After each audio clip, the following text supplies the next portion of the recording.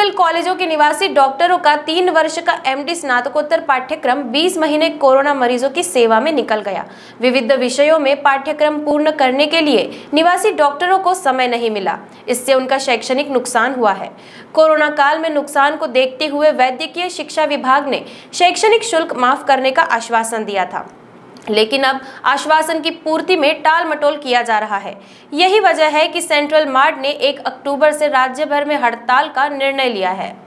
निवासी डॉक्टरों ने कोरोना काल में चौबीसों घंटे सेवा दी। इस बीच कई डॉक्टर कोरोना से पीड़ित भी हुए। दूसरी लहर में डॉक्टरों ने अपने परिवार को भी अनदेखा किया। पढ़ाई को छोड़कर संक्रमण के बीच मरीजों का इलाज किया।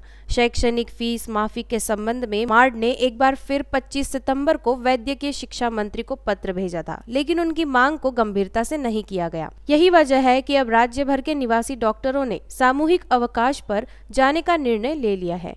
इस दौरान केवल इमरजेंसी, आईसीयू और कैजुअलिटी सेवाएँ ही दी जाएँगी, जबकि ओपीडी और वार्ड में सेवाएँ नहीं दी जाएगी। शैक्षणिक शुल्क माफ़ी के साथ ही रिस्क अलाउंस देने और हॉस्पिटल का रिनोवेशन और कंस्ट्रक्शन की भी मांग की है। मेडिकल मार्ट के अध्यक्ष डॉक्टर सजल बंसल ने बताया की कोरोना काल में सभी निवासी डॉक्टरों ने मरीजों की सेवा को प्राथमिकता दी। इससे उनकी पढ़ाई का नुकसान हुआ है। इस कोरोना काल में शैक्षणिक शुल्क लेना अनुचित है। प्रशासन से इसे लेकर पहले भी मांग की गई थी। अब यह अंतिम विकल्प रह गया है। जल्द यह मांग पूरी होनी चाहिए, जिससे मरीजों का नुकसान न हो।